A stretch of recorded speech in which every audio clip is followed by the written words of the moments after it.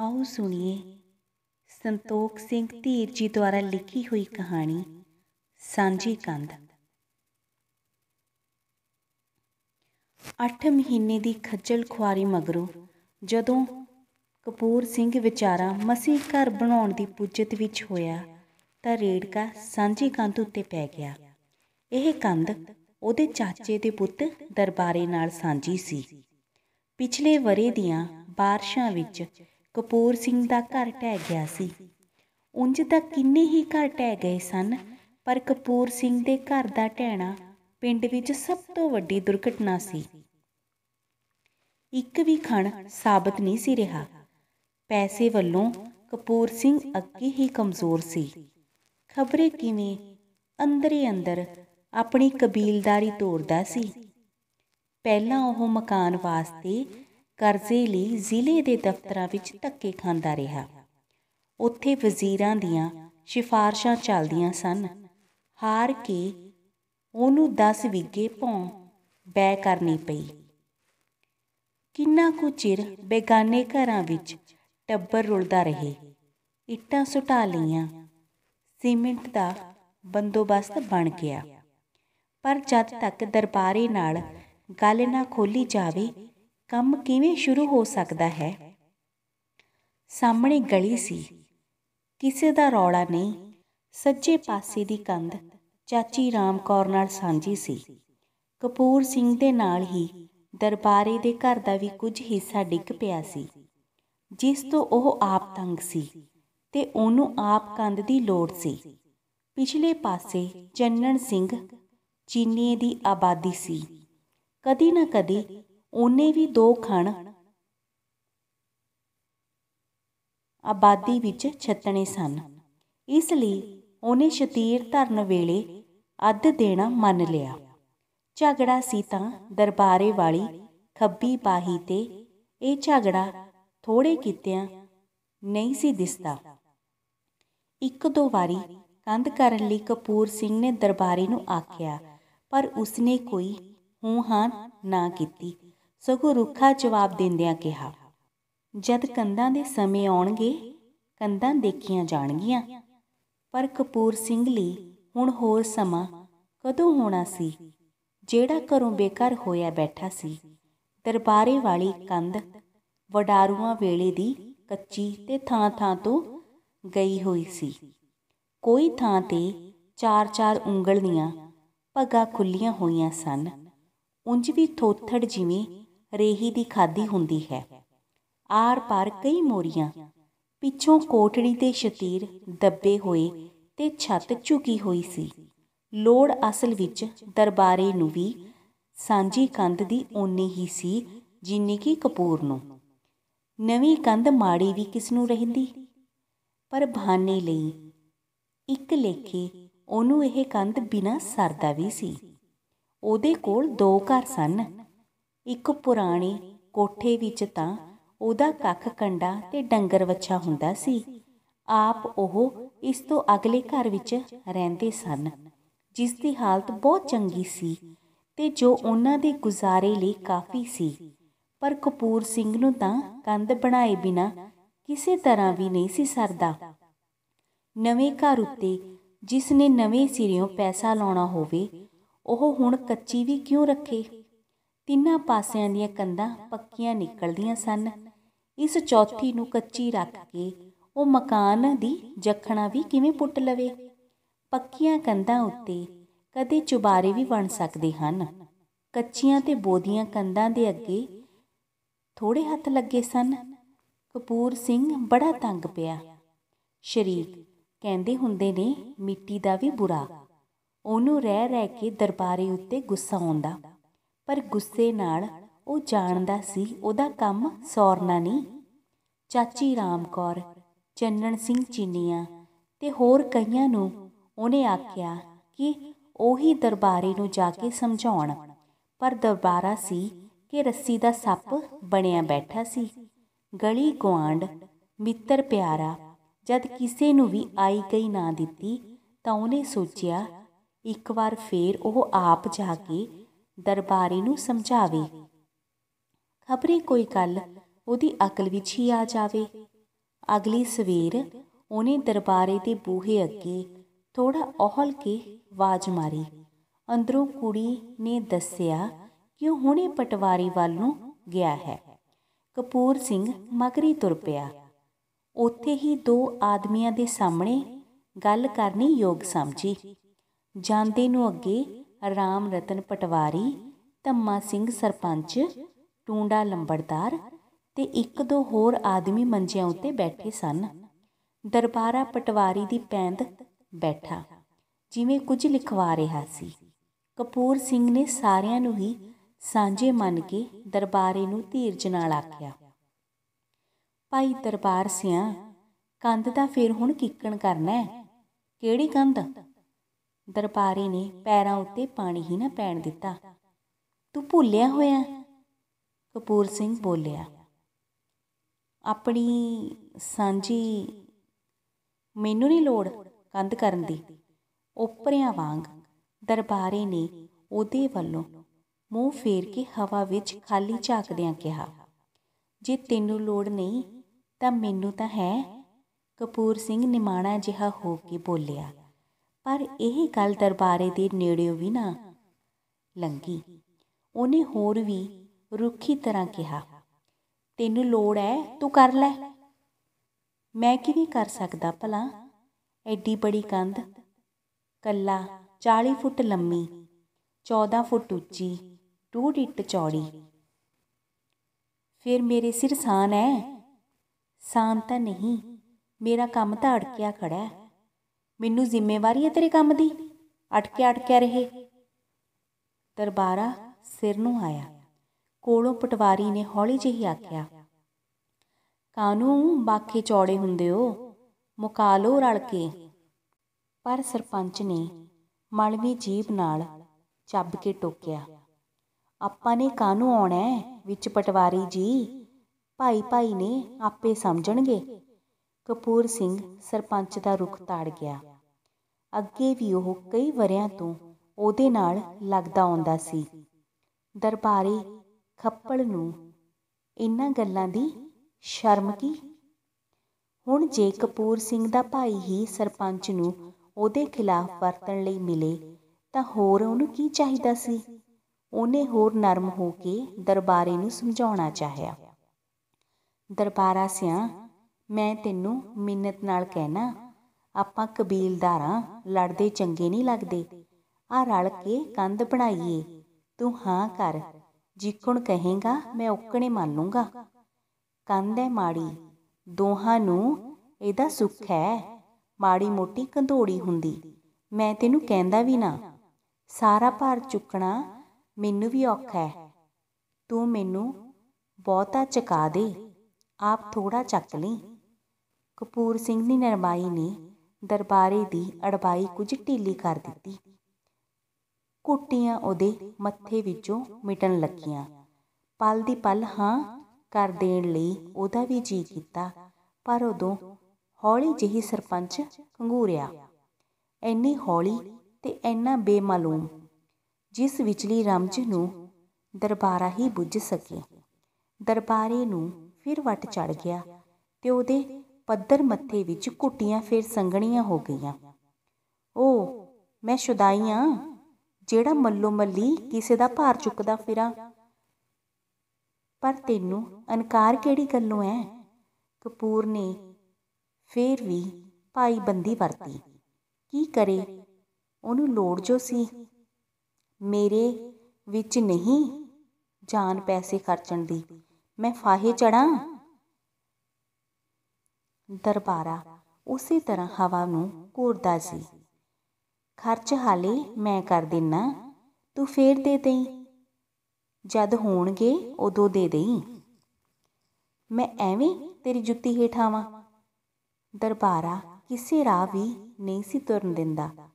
ਭਾਈ ਜੇ ਮਿੱਤਰ ਹੋਵੇ ਤਾਂ ਉਹਦੇ ਵਰਗਾ ਕੋਈ ਮਿੱਤਰ ਨਹੀਂ। ਜੇ ਭਾਈ ਦੁਸ਼ਮਣ ਬਣ ਜਾਵੇ ਤਾਂ ਉਹਦੇ ਵਰਗਾ ਕੋਈ ਦੁਸ਼ਮਣ ਨਹੀਂ। ਟੂੰਡੇ ਲੰਬੜਦਾਰ ਨੇ ਗੱਲ ਮੁਕਾਉਣੀ ਚਾਹੀ। ਲੈਣਾ ਦੇਣਾ ਬਣਿਆ ਹੋਇਆ ਹੀ ਐ, ਕੋਈ ਡਰ ਨਹੀਂ ਅਕੜ ਪਿਛੜ ਦਾ ਵੀ। ਕਪੂਰ ਸਿੰਘ ਦੀ ਹਾਲਤ ਉੱਤੇ ਉਹਨੂੰ ਤਰਸ ਆ ਰਿਹਾ ਸੀ। ਤੈਨੂੰ ਨਹੀਂ ਪਤਾ ਚਾਚਾ, ਦਰਬਾਰੇ ਨੇ ਝਟ ਤਾੜ ਦਿੱਤਾ। ਉਹ ਚੁੱਪ ਕਰ ਗਿਆ। ਕਿਹੜਾ ਲੱਕੜ ਤੋਂ ਆਪਣੀ ਹੇਠੀ ਕਰਵਾਵੇ? ਕਪੂਰ ਸਿੰਘ ਦੁਖੀ ਹੋ ਗਿਆ। ਕਿ ਕੀ ਕਰੇ ਤੇ ਕੀ ਨਾ ਕਰੇ? ਇਹ ਬੇਈਮਾਨ ਕਿਸੇ ਪਾਸੇ ਦਾ ਨਹੀਂ ਮੰਨਦਾ। ਪੱਲਿਓ 400 ਰੁਪਏ ਲਾ ਕੇ ਇਹਨੂੰ ਮੁਫਤ ਵਿੱਚ ਕੰਧ ਬਣਾ ਕੇ ਦੇ ਦਿਓ ਤਾਂ ਲੋੜ ਹੈ ਜੇ ਅੱਧ ਮੰਗੋ ਤਾਂ ਲੋੜ ਨਹੀਂ। ਉਹ ਜਾਣਦਾ ਹੈ ਕੰਧ ਤਾਂ ਇਹਨੂੰ ਆਪ ਬਣਾਉਣੀ ਪਊਗੀ। ਉਹ ਕਿਉਂ ਖਾਮਖਾ ਹਾਮੀ ਭਰੇ? ਸ਼ਤੀਰ ਉਹਦੇ ਕੋਈ ਲਾ ਨਹੀਂ ਸਕਦਾ। ਦਰਬਾਰਾ ਸਿਆ ਕਪੂਰ ਸਿੰਘ ਬਿਰਬਿਰ ਕਰਨ ਲੱਗਾ, ਮੇਰੇ ਹਾਲ ਕੰਨੀ ਦੇਖ, ਕਿੰਨਾ ਚਿਰ ਹੋ ਗਿਆ ਮੈਨੂੰ ਰੁਲਦੇ ਨੂੰ। ਹੁਣ ਤੂੰ ਐਵੇਂ ਅੜਿੱਕਾ ਨਾ ਡਾ। ਜਿੱਕਣ ਕਰੇਗਾ, ਓਕਣੇ ਕਰ ਲਾਂਗੇ। ਨਿੱਕਾ ਜਿਹਾ ਖੰਗੂਰਾ ਫੇਰ ਸੁਣਿਆ। ਦਰਬਾਰੇ ਵਿੱਚ ਜਿਵੇਂ ਉਪਰੀ ਹਵਾ ਆ ਗਈ ਹੋਵੇ। ਬਿਨਾਂ ਅੱਖ ਮਿਲਾਏ ਉਹਨੇ ਕੋਰਾ ਹੋ ਕੇ ਆਖਿਆ, ਮੇਰਾ ਹਾਲ ਕਿਹੜਾ ਚੰਗਾ ਹੈ ਮੈਂ ਤੇਰੇ ਹਾਲ ਨਹੀਂ ਦੇਖਾਂ। ਪਟਵਾਰੀ, ਸਰਪੰਚ, ਲੰਬੜਦਾਰ ਤੇ ਹੋਰ ਸਾਰੇ ਚੁੱਪ ਕਰਕੇ ਸੁਣਦੇ ਰਹੇ। ਦਰਬਾਰਾ ਸਿੰਘ ਨੇ ਹੋਰ ਮੁੱਚ ਕੇ ਹੋਰ ਸਮਾਈ ਨਾਲ ਆਖਿਆ, ਡੂੜ ਇੱਟ ਦੀ ਨਾ ਸਹੀ, ਇੱਕ ਇੱਟ ਦੀ ਕਰ ਲੈ। ਇੱਕ ਇੱਟ ਵੀ ਨਹੀਂ ਕਰਨੀ, ਕੱਚੀ ਕਰ ਲੈ। ਕੱਚੀ ਨਾ ਪੱਕੀ, ਚੱਲ ਤੂੰ ਇੱਟਾਂ ਦਾ ਅੱਧ ਦੇ ਦੇ, ਮਜ਼ਦੂਰੀ ਨਾ ਸਹੀ। ਉਹਨੇ ਹੋਰ ਕਾਂ ਖਾਦੀ ਪਰ ਦਰਬਾਰਾ ਤਾਂ ਇੱਕ ਆਟੇ ਦਾ ਛੀ ਸੀ, ਹੋਰ ਵਿਗੜ ਕੇ ਬੋਲਿਆ, ਜਦ ਮੈਂ ਕੇਰਾ ਕਹਿਤਾ, ਮੈਨੂੰ ਨਹੀਂ ਲੋੜ, ਮੈਂ ਨਹੀਂ ਕਰਨੀ। ਮੈਨੂੰ ਨਾ ਕਹੀਂ। ਜੇ ਕੰਧ ਕਪੂਰ ਸਿੰਘ ਵੀ ਕਰੇ, ਤਾਂ ਵੀ ਢਾਉਣ ਵੇਲੇ ਤਾਂ ਆਦੀ ਦੀ ਕੋਲ ਹੋਣਾ ਜ਼ਰੂਰੀ ਸੀ। ਆਪਣੇ ਘਰ ਨੂੰ ਸਾਂਭਣਾ, ਸ਼ਤੀਰਾਂ ਹੇਠ ਥੰਮੀਆਂ ਦੇਣੀਆਂ। ਉਹਨੇ ਹੋਰ ਵੀ ਠਰਮੇ ਨਾਲ ਦਰਬਾਰੀ ਨੂੰ ਆਖਿਆ, ਪਰ ਤੇਰੀ ਰਜ਼ਾਬੰਦੀ ਮਿਨਾ ਮੈਂ ਕੰਧ ਨੂੰ ਛੇੜਾ ਵੀ ਕਿਵੇਂ? ਤੂੰ ਕੋਲ ਤਾਂ ਖੜ। ਕੰਧ ਬਣੂਗੀ ਤਾਂ ਢਹਿ ਕੇ ਹੀ ਮੈਂ ਤਾਂ ਸਰਦਾਰ ਜੀ ਅੱਗ ਨਹੀਂ ਲਾਉਣ ਜਾਂਦਾ ਕੰਧ ਨੂੰ। ਤੂੰ ਕਹਿਣਾ ਕੋਲ ਖੜ। ਮੈਨੂੰ ਚੱਟੀ ਪਈ ਐ। ਨਾ ਬਾਈ। ਵਿੱਚੋਂ ਹੀ ਕਿਸੇ ਨੇ ਦਰਬਾਰੀ ਦੀ ਗੱਲ ਤੋਂ ਆਖਿਆ। ਆ ਤਾਂ ਬੇਜੈ ਹੁਣ ਤਾਂ ਕਪੂਰ ਸਿੰਘ ਨੂੰ ਵੀ ਅੱਗ ਲੱਗ ਗਈ। ਇਹਨੂੰ ਕਹਿੰਦੇ ਨੇ ਸ਼ਰੀਕ। ਉਹਨੇ ਦਿਲ ਵਿੱਚ ਆਖਿਆ, ਬੰਦਾ ਕਿੱਥੋਂ ਕੁ ਤੱਕ ਸਬਰ ਕਰਦਾ ਰਹੇ? ਤਾਂ ਵੀ ਉਹ ਤੱਤ ਨੂੰ ਮਾਰ ਕੇ ਪਰ ਥੋੜਾ ਤੇਜ਼ ਹੋ ਕੇ ਬੋਲਿਆ, ਜੇ ਮੈਂ ਬਣਾ ਲਾਂ, ਤਾਂ ਤੂੰ ਸ਼ਤੀਰ ਤਾਂ ਨਹੀਂ ਧਰੇਗਾ ਮੇਰੀ ਕੰਧ ਉੱਤੇ? ਸ਼ਤੀਰ ਧਰਨੋਂ ਮੈਨੂੰ ਕਿਹੜਾ ਹਟਾ ਸਕਦਾ ਮੈਂ ਮਾਲਕਾਂ ਕੰਧ ਦਾ, ਦਰਬਾਰੇ ਨੇ ਹਿੱਕ ਥਾਪੜੀ। ਤੇਰੇ ਕੱਲੇ ਦੀ ਕੰਧ? ਮੇਰੀ ਨਹੀਂ? ਤੂੰ ਬਹੁਤਾ ਮਾਲਕ ਹੈ। ਜੇ ਭਖੇ ਨਾ ਕਪੂਰ ਸਿੰਘ ਤਾਂ ਕੀ ਕਰੇ? ਦਰਬਾਰੇ ਨੇ ਉਲਟੀ ਹੋਰ ਤਾੜੀ ਮਾਰੀ। ਮੈਂ ਤਾਂ ਸਰਦਾਰ ਜੀ, ਤੇਰੇ ਉੱਤੇ ਅਰਜ਼ੀ ਦੇਣੀ ਐ। ਤੂੰ ਭਾਲਦਾ ਅੱਧ। ਤੇਰਾ ਕੋਠਾ ਢਹਿਣ ਨਾਲ ਕੰਧ ਹੋ ਗਈ ਨੰਗੀ। ਜੇ ਮੀਹਾਂ ਵਿੱਚ ਨੰਗੀ ਕੰਧ, ਮੇਰਾ ਕੋਠਾ ਲੈ ਕੇ ਬਹਿ ਗਈ ਤਾਂ ਕੌਣ ਜ਼ਿੰਮੇਵਾਰ? ਹੁਣ ਤਾਂ ਕਪੂਰ ਸਿੰਘ ਹੋਰ ਵੀ ਭੜਕ ਉੱਠਿਆ। ਤੂੰ ਲਾ ਲਈ ਜਿਹੜਾ ਜ਼ੋਰ ਲਾਉਣਾ ਮੈਂ ਜਾਣਦਾ ਜਿਹੜਾ ਵਕੀਲ ਤੇਰੇ ਅੰਦਰ ਬੋਲਦਾ ਅਰਜ਼ੀ ਦੂ ਇਹ ਨਗੌਰਾ ਮੇਰੇ ਉੱਤੇ। ਹੁਣ ਗਿਣ ਕੇ ਲਈ, ਤੂੰ ਹਰਜਾਨਾ ਮੇਰੇ ਕੋਲੋਂ ਹਵੇਲੀ ਦਾ। ਚੱਲ ਮੈਂ ਢਾਉਣਾ ਕੰਧ, ਆ ਤੂੰ ਹਟਾ ਮੈਨੂੰ। ਦਰਬਾਰਾ ਭਾਵੇਂ ਕਪੂਰ ਸਿੰਘ ਤੋਂ ਕੁਝ ਛੋਟਾ ਸੀ, ਸਰੀਰ ਦਾ ਵੀ ਲੀਸਾ ਸੀ, ਤੇ ਅੱਗੇ ਕਦੇ ਉਹਦੇ ਸਾਹਮਣੇ ਯੂੰ ਨਹੀਂ ਸੀ ਬੋਲਿਆ, ਪਰ ਚੁੱਕ ਬੁਰੀ ਹੁੰਦੀ ਹੈ ਦਰਬਾਰਾ ਉੱਠ ਕੇ ਖੜਾ ਹੋ ਗਿਆ ਤੇ ਬਾਹਾਂ ਝਾੜਦਾ ਕੜਕੇ ਨਾਲ ਬੋਲਿਆ ਤੂੰ ਹੱਥ ਤਾਂ ਲਾ ਜਾ ਕੇ ਕੰਧ ਨੂੰ। ਨੇੜੇ ਹੀ ਸੀ, ਦੋਵੇਂ ਉਲਝ ਪੈਂਦੇ ਕਿ ਟੂੰਡੇ ਲੰਬੜਦਾਰ ਨੇ ਝੱਟ ਉੱਠ ਕੇ ਦਰਬਾਰੇ ਨੂੰ ਡੱਕ ਦਿੱਤਾ ਤੇ ਕਪੂਰ ਸਿੰਘ ਨੂੰ ਚਲੇ ਜਾਣ ਦੀ ਸੈਨਤ ਕੀਤੀ। ਕਪੂਰ ਸਿੰਘ ਉੱਥੋਂ ਤੁਰ ਪਿਆ। ਮਖਾ ਚੱਲ ਤਾਂ ਸਹੀ, ਮੈਂ ਢਾਉਣਾ। ਤੂੰ ਹਟਾਈ ਦੇਖੀ, ਨਾਲੇ ਕੰਧ ਬਣਦੀ ਵੀ ਕਿਵੇਂ ਐ? ਨਾਲੇ ਨਾ ਦੇਈ ਖਾਂ ਭਲਾ ਤੂੰ, ਅੱਧ। ਪਟਵਾਰਖਾਨੇ ਦਾ ਬੂਹਾ ਲੰਘਦਿਆਂ ਉਹ ਕਹਿ ਰਿਹਾ ਸੀ ਸਾਰਾ ਪਿੰਡ ਦਰਬਾਰੇ ਨੂੰ ਕੋਸਣ ਲੱਗਾ। ਬਹੁਤ ਮਾੜੀ ਗੱਲ ਹੈ ਦਰਬਾਰੇ ਖਾਤਰ।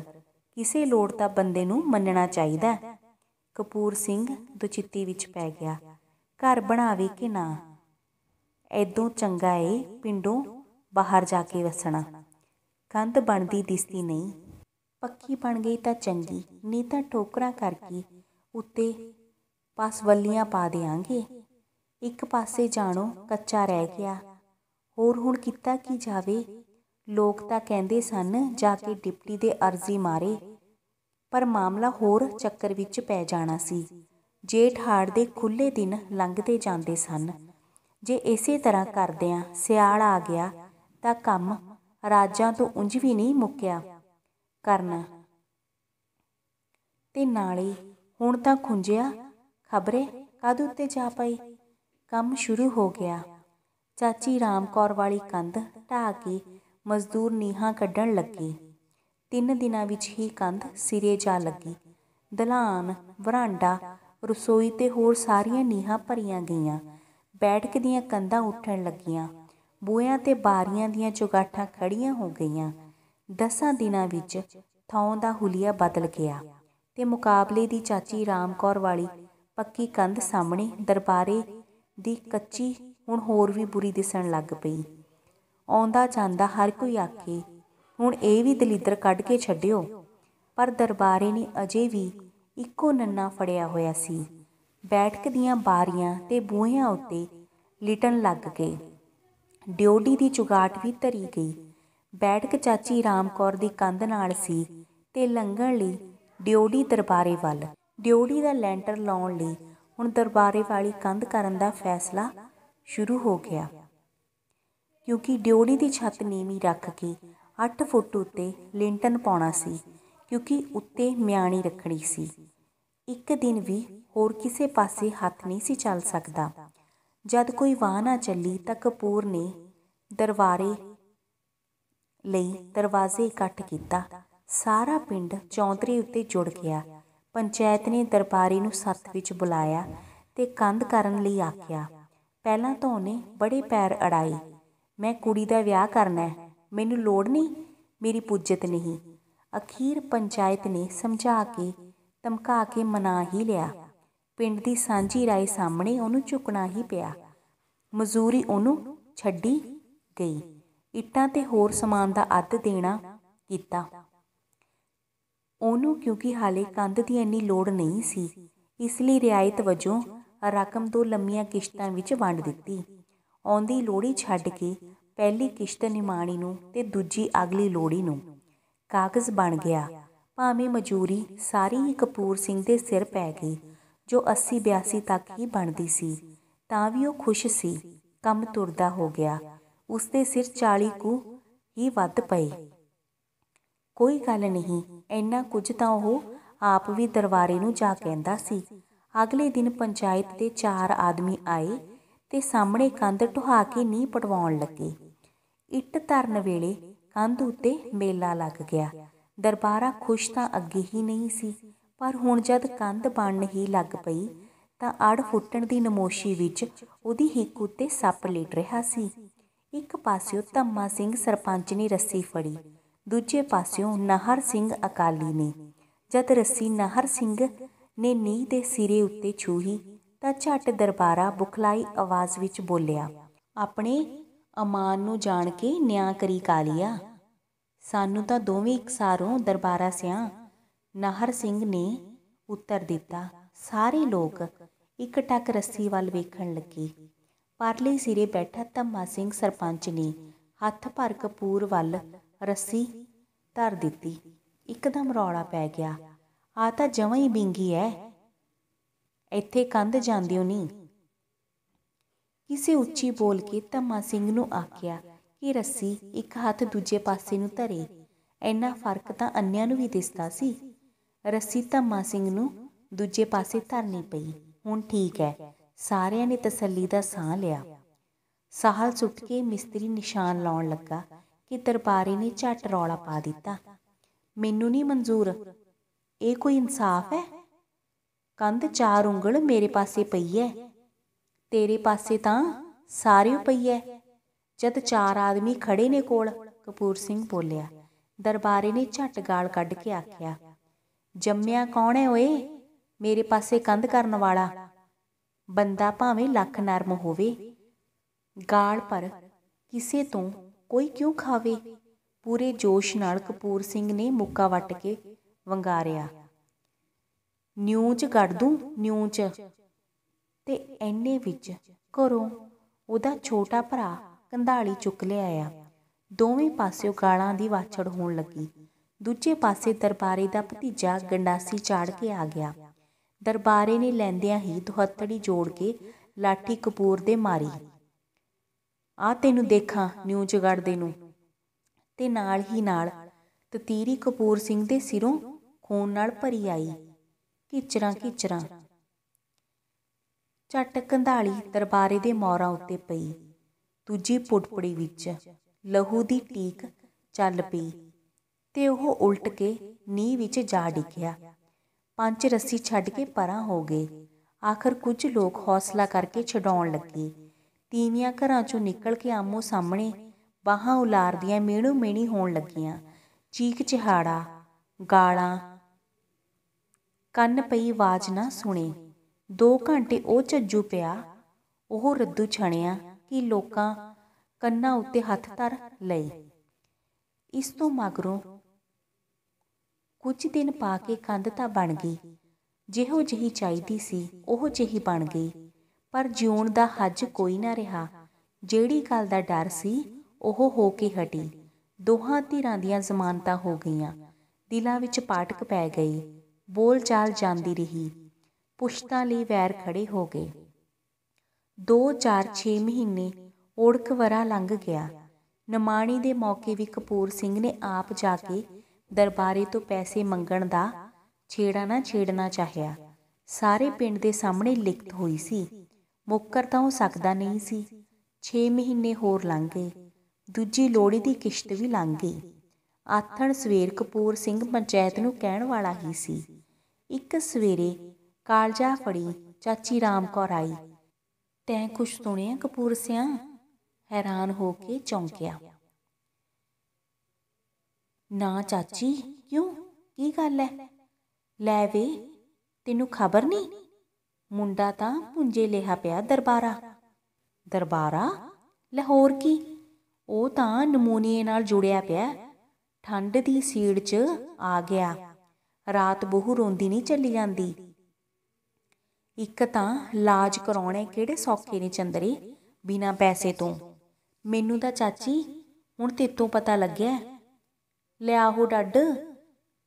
ਤੈਨੂੰ ਕਿਤੇ ਉੱਪਰ ਹੈ ਆਉਣ ਜਾਣ ਬਾਜੋਂ ਕੰਦੋਲੇ ਪਰਦੇਸ ਹੈ ਚਾਚੀ। ਲੈ ਉਹ ਜਾਣੇ। ਨੌਹਾਂ ਨਾਲੋਂ ਮਾਸ ਨਹੀਂ ਟੁੱਟਦਾ ਕਦੇ ਸਾਊ। ਕਹਿੰਦਿਆਂ ਚਾਚੀ ਸੈਂਤ ਸੁੱਟ ਕੇ ਚਲੀ ਗਈ। ਕਪੂਰ ਸਿੰਘ ਉੱਠਿਆ ਤੇ ਝਾਕਦਾ ਝਕਾਉਂਦਾ ਦਰਬਾਰੀ ਦੇ ਘਰ ਅੰਦਰ ਲੰਘ ਗਿਆ। ਵਿਹੜੇ ਵਿੱਚ ਕੰਧ ਦੀ ਓਟ ਨਾਲ ਧੁੱਪੇ ਦਰਬਾਰੀ ਦਾ ਮੰਜਾ ਸੀ। ਕਪੂਰ ਸਿੰਘ ਨੇ ਜਦ ਦਰਬਾਰੀ ਵੱਲ ਵੇਖਿਆ ਤਾਂ ਉਹ ਖੜੇ ਦਾ ਖੜਾ ਰਹਿ ਗਿਆ। ਸੁੱਕ ਕੇ ਪਿੰਜਰ ਬਣਿਆ ਸਰੀਰ। ਧੂਏ ਵਰਗਾ ਰੰਗ। ਅੰਦਰ ਨੂੰ ਧਸੀਆਂ ਹੋਈਆਂ ਅੱਖਾਂ ਤੇ ਦਰਬਾਰੀ ਦੀ ਨਿਆਣੀ ਟੱਬਰੀ। ਅੰਦਰੋਂ ਦਰਬਾਰੀ ਦੀ ਘਰਵਾਲੀ ਨੇ ਮੰਜੇ ਕੋਲ ਸਟੂਲ ਢਾ ਦਿੱਤਾ, ਪਰ ਕਪੂਰ ਸਿੰਘ ਦਰਬਾਰੀ ਦੇ ਕੋਲ ਹੀ ਮੰਜੇ ਦੀ ਪਾਹੀ ਉੱਤੇ ਬਹਿ ਗਿਆ। ਕੀ ਹਾਲ ਹੈ ਭਾਈ ਦਰਬਾਰਿਆ? ਰਜਾਈ ਦੇ ਆਸਰੇ ਢੋਂ ਲਾ ਕੇ ਦਰਬਾਰਾ ਕੁਝ ਬੈਠਦਾ ਹੋਇਆ ਬੋਲਿਆ, ਹੁਣ ਤਾਂ ਚੰਗਾ ਬਾਈ ਬਿਮਾਰੀ ਦਾ ਭੰਨਿਆ ਉਹਦਾ ਨਿਢਾਲ ਮਨ ਕੁਝ ਕਰਾਰ ਫੜ ਆਇਆ। ਕੋਈ ਨਾ, ਤੂੰ ਪਿਆਰੋ ਉੱਠਣ ਦੀ ਖੇਚਲ ਨਾ ਕਰ। ਕਮਜ਼ੋਰੀ ਜ਼ਿਆਦੇ ਐ, ਬੋਲਣ ਲੱਗਿਆ। ਦਰਬਾਰੇ ਸਿੰਘ ਦਾ ਸਾਰਾ ਤਿੱਕ ਕੰਮਦਾ ਸੀ। ਸਭ ਦੂਰ ਹੋ ਜੂ, ਜਗਾਟ ਬਚ ਰਹੇ, ਵਾਣ ਬਥੇਰਾ, ਕਪੂਰ ਸਿੰਘ ਨੇ ਹੌਸਲਾ ਦਿੱਤਾ। ਲੋਕੜ ਕਰਮ ਕਰਕੇ, ਉਹਦੀ ਕੁੜੀ ਹਰਬੰਸੋ ਉਹਦੀਆਂ ਵੱਖੀਆਂ ਨੂੰ ਸੇਕਣ ਲਈ ਲਿਆਈ। ਇਲਾਜ ਕਿਹਦੇ ਕਪੂਰ ਸਿੰਘ ਨੇ ਪੁੱਛਿਆ ਇਲਾਜ ਦਰਬਾਰਾ ਅੱਗੋਂ ਚੁੱਪ ਕਰ ਗਿਆ। ਇਲਾਜ ਕਿਸੇ ਦੇ ਵੀ ਨਹੀਂ। ਘਰਾਂ ਦੇ ਇਲਾਜ ਵੀ ਕੋਈ ਇਲਾਜ ਹੁੰਦੇ ਹਨ? ਕਪੂਰ ਸਿੰਘ ਤੋਂ ਲੁਕਿਆ ਕੀ ਸੀ? ਇੱਕ ਦੂਜੇ ਦੇ ਘਰ ਦੀ ਹਾਲਤ ਉਹ ਜਾਣਦੇ ਹੀ ਸਨ। ਕਪੂਰ ਸਿੰਘ ਨੇ 10 ਰੁਪਏ ਦਾ ਨੋਟ ਕੱਢ ਕੇ ਦਰਬਾਰੇ ਦੀ ਜੇਬ ਵਿੱਚ ਪਾ ਦਿੱਤਾ। ਮੈਂ ਜਾ ਕੇ ਮੰਡੀੋਂ ਡਾਕਟਰ ਨੂੰ ਭੇਜਦਾ। ਦਰਬਾਰੇ ਦੇ ਮਨ ਵਿੱਚ ਹੋ ਉੱਠੀ ਮੈਂ ਤਾਂ ਤੇਰੇ ਅੱਗੇ ਹੀ ਪੈਸੇ ਦੇਣੇ ਆ ਬਾਈ ਕੰਧ ਵਾਲੇ। ਤੂੰ ਹਾਲੇ ਤਕੜਾ ਹੋ, ਦਿੰਦਾ ਰਹੀ ਪੈਸੇ। ਪੈਸੇ ਸਾਲਿਆਂ ਨੇ ਨਾਲ ਜਾਣਾ। ਦਰਬਾਰੀ ਦੀਆਂ ਅੱਖਾਂ ਸੇਮਾਈਆਂ ਥੋੜੇ ਚਿਰ ਪਿੱਛੋਂ ਭਰੇ ਹੋਏ ਕੱਚ ਨਾਲ ਧੀਮਾ ਹੋ ਕੇ ਬੋਲਿਆ, ਮਕਾਨ ਦਾ ਕੰਮ ਚੜ ਗਿਆ ਸਿਰੇ। ਥੋੜਾ ਜਿਹਾ ਟੀਪ ਟੱਲਾ ਰਹਿੰਦਾ ਹੈ, ਸਿਮਿੰਟ ਥੁੜ ਗਿਆ। ਮੈਨੂੰ ਤਾਂ ਸਹੁਰਾ ਸਰਪੰਚ ਭਖਾਉਂਦਾ। ਰਿਹਾ, ਨਹੀਂ ਤਾਂ ਮੈਂ ਕਿਹੜਾ? ਤੇਰਾ ਦੋਖੀ ਸੀ। ਹੁਣ ਤੂੰ ਇਹਨਾਂ ਗੱਲਾਂ ਨੂੰ ਮਨ ਤੇ ਨਾ ਲਾ ਲਿਆ। ਜੇ ਚਾਰ ਭਾਂਡੇ ਹੋਣਗੇ ਤਾਂ ਹੀ ਖੜਕਣਗੇ। ਹਾੜ ਦਾ ਬੰਸੋ ਦਾ ਵਿਆਹ ਦੇ ਦਈਏ। ਦਰਬਾਰੇ ਦੀ ਲੂ ਲੂ ਚੋਂ ਅਪਣੱਤ ਜਾਗ ਰਹੀ ਸੀ। ਕੋਈ ਡਰ ਨਹੀਂ, ਜਿਹੜਾ ਭਾਰ ਸਿਰੋਂ ਲੈ ਜਾਵੇ ਚੰਗਾ। ਤੂੰ ਆਏਗਾ, ਜਿੱਕਣ ਤੂੰ ਕਹੀਂ। ਦਰਬਾਰੇ ਨੇ ਕੰਮ ਦੇ ਹੱਥਾਂ ਵਿੱਚ ਕਪੂਰ ਸਿੰਘ ਦਾ ਹੱਥ ਫੜ ਕੇ ਆਖਿਆ, ਤੇਰੇ ਬਿਨਾ ਬਾਈ ਮੈਂ ਕਾਦੇ ਜੋਗਾ? ਉਹਦੇ ਬੁੱਲ ਫਰਕਣ ਲੱਗੇ ਤੇ ਅੱਖਾਂ ਵਿੱਚੋਂ ਪਰਲ ਪਰ ਹੰਝੂਆਂ ਦੀਆਂ ਧਾਰਾਂ ਫੁੱਟ ਪਈਆਂ। ਉਹ ਤੂੰ ਦਿਲ ਰੱਖ ਵੀਰ, ਮੈਂ ਤੇਤੋਂ ਨਾਬਰਤਾ ਨਹੀਂ? ਕਪੂਰ ਸਿੰਘ ਨੇ ਮਸੀ ਇਹ ਬੋਲ ਆਖੀ, ਹੰਝੂਆਂ ਦੀਆਂ ਧਾਰਾਂ ਹੁਣ ਉਹਦੇ ਚਿਹਰੇ ਉੱਤੇ ਵੀ ਵਗ ਪਈਆਂ। ਸੋ ਦੇਖਿਆ ਬੱਚੋ ਕਿੰਨੀ ਸੋਹਣੀ ਕਹਾਣੀ ਹੈ। ਇਸ ਕਹਾਣੀ ਦਾ ਸਾਰ ਵੀ ਇਹੀ ਹੈ ਵੀ ਭਰਾ ਭਰਾਵਾਂ ਤੋਂ ਕਦੇ ਦੂਰ ਨਹੀਂ ਹੋ ਸਕਦੇ। ਜੋ ਖੂਨ ਦੇ ਰਿਸ਼ਤੇ ਨੇ, ਦਿਲ ਦੇ ਰਿਸ਼ਤੇ ਨੇ, ਉਹ ਕਦੇ ਵੀ ਵੱਖ ਨਹੀਂ ਹੋ ਸਕਦੇ। ਭਾਵੇਂ ਲੱਖ ਲੋਕ ਫ਼ਰਕ ਪਾ ਦੇਣ, ਕੁਝ ਸਮੇਂ ਲਈ ਤਾਂ ਫ਼ਰਕ ਪੈ ਸਕਦੇ ਨੇ, ਪਰ ਜੋ ਦਿਲ ਹਮੇਸ਼ਾ ਉਹਨਾਂ ਦੇ ਨਾਲ ਹੀ ਜੁੜੇ ਰਹਿੰਦੇ ਨੇ। ਸੋ ਆਪਾਂ ਨੂੰ ਕਿਸੇ ਦੀ ਚੱਕ ਦੇ ਵਿੱਚ ਆ ਕੇ ਨਹੀਂ ਲੜਨਾ ਚਾਹੀਦਾ। ਜੇ ਆਪਾਂ ਲੜਾਂਗੇ ਤਾਂ ਕਦੇ ਵੀ ਸੁਖਾਲੇ ਨਹੀਂ ਰਹਿ ਸਕਾਂਗੇ। ਹਮੇਸ਼ਾ ਆਪਾਂ ਨੂੰ ਇੱਕ ਤੜਫਣ ਅੰਦਰ ਲੱਗੀ ਰਹਿੰਦੀ ਹੈ। ਸੋ ਆਪਾਂ ਨੂੰ ਕਦੇ ਵੀ ਕਿਸੇ ਨਾਲ ਛੋਟੀ ਛੋਟੀ ਗੱਲ ਤੇ ਨਹੀਂ ਲੜਨਾ ਚਾਹੀਦਾ। ਸਗੋਂ ਇੱਕ ਦੂਜੇ ਨੂੰ ਸਮਝਣਾ ਚਾਹੀਦਾ ਹੈ। ਅਗਰ ਆਪਾਂ ਸਮਝਾਂਗੇ ਤਾਂ ਹਮੇਸ਼ਾ ਆਪਾਂ ਨੂੰ ਆਪਣੇ ਵਿੱਚ ਵੀ ਕਮੀਆਂ ਨਜ਼ਰ ਆਉਣਗੀਆਂ। ਤੇ ਕਿਉਂਕਿ ਹਮੇਸ਼ਾ ਆਪਾਂ ਹੀ ਚੰਗੇ ਨਹੀਂ ਹੁੰਦੇ, ਆਪਣੇ ਵਿੱਚ ਵੀ ਬਹੁਤ ਕਮੀਆਂ ਹੁੰਦੀਆਂ ਨੇ। ਸੋ ਹਾਲਾਤਾਂ ਨੂੰ ਇਨਸਾਨਾਂ ਨੂੰ ਆਪਾਂ ਨੂੰ ਸਮਝਣਾ ਚਾਹੀਦਾ ਹੈ। ਧੰਨਵਾਦ।